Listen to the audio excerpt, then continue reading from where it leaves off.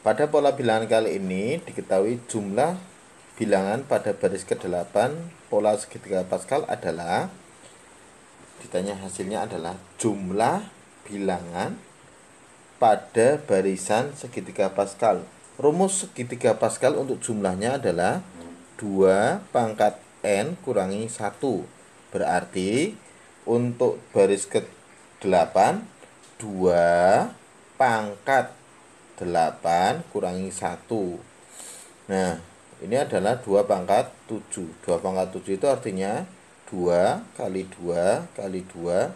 kali 2 kali 2 kali 2 kali 2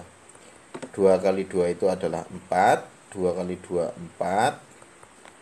2 kali 2 juga 4 ini masih ada kali 2 4 kali 4 16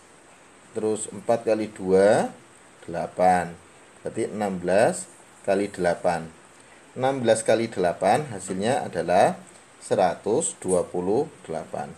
jadi jumlah bilangan eh, pada segitiga Pascal baris ke-8 adalah 128